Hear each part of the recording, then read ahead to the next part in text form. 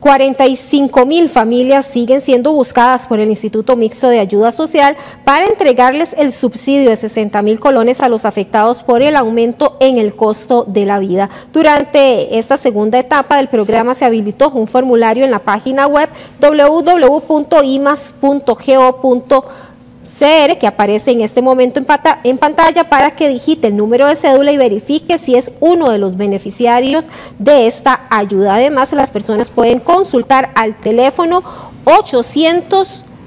00 46 27 también aparece en pantalla para que usted pueda aclarar las dudas sobre este programa. Este mecanismo permite entonces a esas personas con las cuales aún no tenemos un número de teléfono para contactarles o un correo electrónico que puedan ingresar a la plataforma de limas, imas.go.cr y en esa plataforma anotar su número de cédula y verificar si tienen un subsidio.